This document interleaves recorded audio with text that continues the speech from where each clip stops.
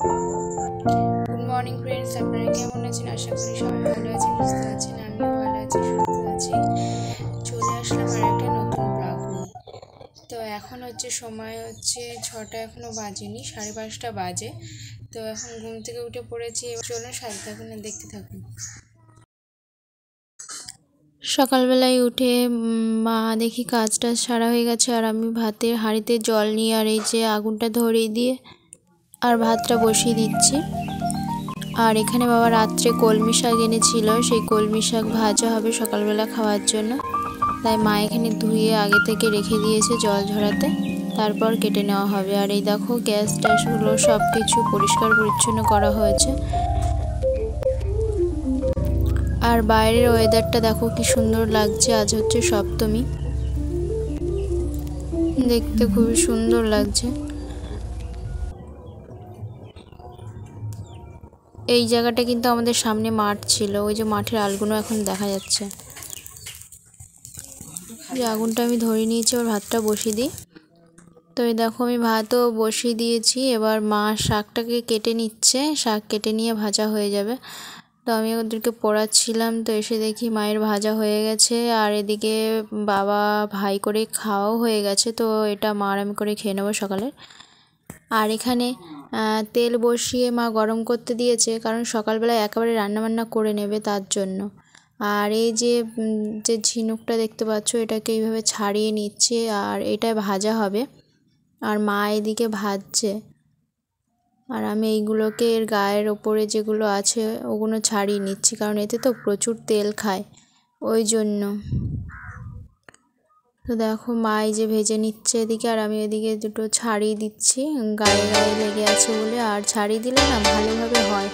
আর একটার উপর একটা লেগে থাকলে মানে ভালো মচমচে হয় না, কেমন একটা হয়ে যায়।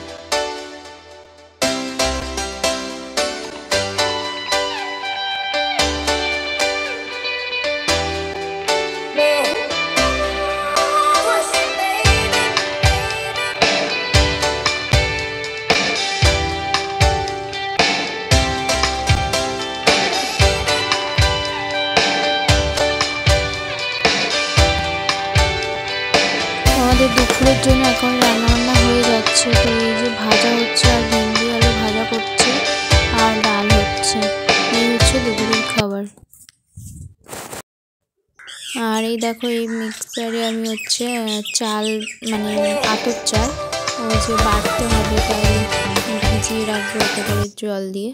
তো এটাকে ভালো করে পরিষ্কার করে ধুয়ে এনে রেখে দিয়েছি। আর এই যে চালটা দেখতে পাচ্ছ, চালটা আমি ভালো করে ধুয়ে আর জলে, জল নিয়ে এসে আর বাটিতে করে রেখে দিয়েছি, কিন্তু ওরতে দিয়ে দেবো আমি ওর মধ্যে।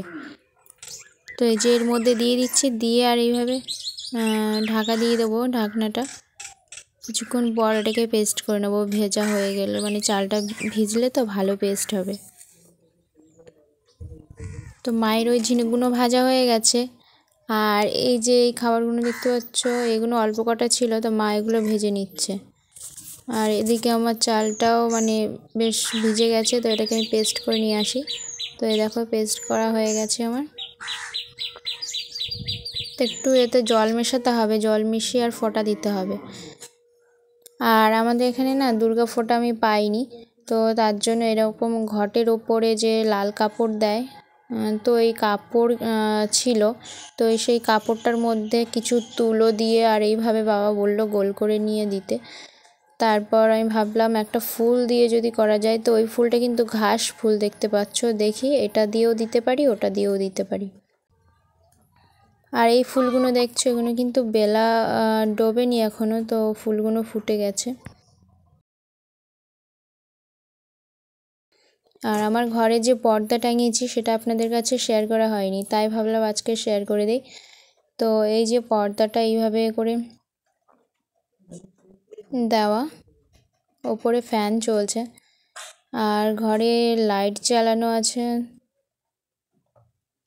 আর এই যে মানে ঘর গোছাচ্ছিলাম তো এখনও মানে এর উপরে আর কি বেডশিট পাতা হয়নি, ওই যে কারি করে রাখা আছে, তো এরপর পেতে নেব। আর বাবা আজকে রাত্রে সবজি এনেছে, পটল এনেছে, আর এখানে এনেছে আরও অনেক কিছু এনেছে। বেগুন এনেছে, তো এই বেগুনগুলোকে মা হচ্ছে একটা বেগুন কেটে নিচ্ছে চপ বানানোর জন্য। আর ভাই বেগুন খায় না, তো ওর জন্য একটা আলু কেটে নিচ্ছে। আর এই যে বেসন নিয়ে এসছে, অনেকটা পরিমাণেই বেসন নিয়ে এসছে। আর এখানে আছে চাউ, তো এই চাউগুলো কিন্তু বেশ ভালো দেখলাম। মানে আর আমাদের যখন নিয়ে আসে, এরম কেজি ধরে নিয়ে আসে, মনে হচ্ছে এটা এক কেজির প্যাকেট, ঠিক জানি না আমি। তো এই দেখো, চাউয়ের এটগুলো মানে কি মোটা তোমাদের রাতের খাওয়ার জন্য কিন্তু রান্না হয়ে গেছে। এখানে হয়েছে সয়াবিন, আলু, কুমড়ো দিয়ে তরকারি। আর ওই যে বেগুন হচ্ছে মানে বেগুনের চপ হচ্ছে। আর এদিকে তো ভাত মনে ফুটে গেছে, তো চলুন। হ্যাঁ ভাত ফুটে গেছে। তো এখানে মা বেসনটাকে আর একটা বাটিতে করে নিয়ে হলুদ, লবণ, ভাজা মশলা আর একটু বাড়িতে পেস্ট করা লঙ্কার গুঁড়ো, সেই দিয়ে একটু মিক্সড করে নিচ্ছে। নিয়ে একটা ভালো ব্যাটার করে নিয়ে আর এইভাবে করে ছাড়বে তেলের ওপর। তো এই যে আলু আর বেগুন।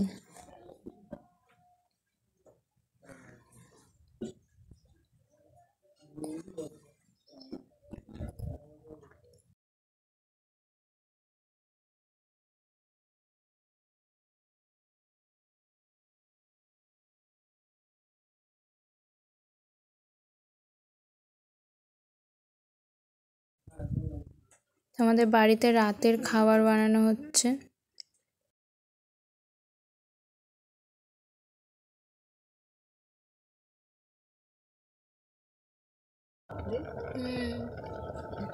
তো কড়াইয়ে কিন্তু এই যে হলুদ দাগ মতো হয়ে আছে না, তরকারি কিন্তু আগে হয়ে গেছে। সেই তরকারির কড়াইতে আর কি মানে কড়াইটা ভালো করে ধুয়ে নিয়েছে, নিয়ে তাও এরকম দাগ আর কি থেকে গেছে। তো সেই কড়াইয়ের মধ্যে এইভাবে তেল দিয়ে মুছে নিয়েছিল, নিয়ে তেল দিয়ে আর এইভাবে বেগুনিগুলো ছেড়ে দিয়েছে। তিনটে করে বেগুন করছে। একটা বেগুন কেটে কেটেছে আর কি। তিনটে প্রথমে দিয়েছে।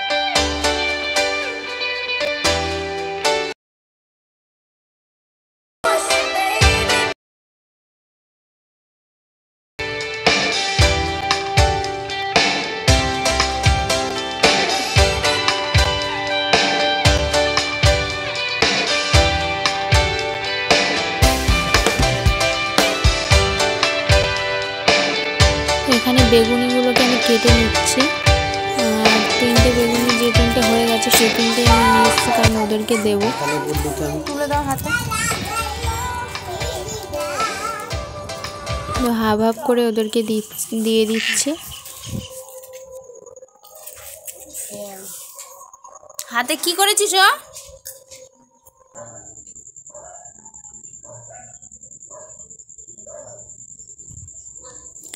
আর আজকের ব্লগটা কেমন হয়েছে অবশ্যই বলো। আজকের ব্লগটা এই পর্যন্ত। আর এইগুলো হচ্ছে দুর্গাফোঁটা দেওয়া হয়েছে, আপনাদের সাথে শেয়ার করা হয়নি দিনের বেলায়। তো এই যে এরকম জায়গায় আমরা এইভাবে করে দেই। আর বাইরে যেটা সেটাও দেখাচ্ছি।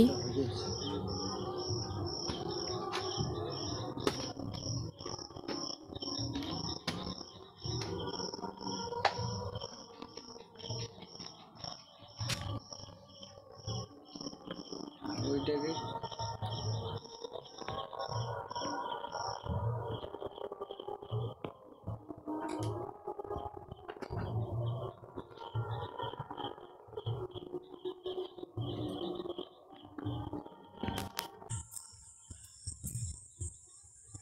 তো এই যে হচ্ছে আমাদের গোয়ালঘরের পেছনের সাইডে আর কি এরকমভাবে করে ফটা দিয়েছি। তো আজকের ব্লগটা এই পর্যন্ত। দেখাবে নেক্সট ব্লগে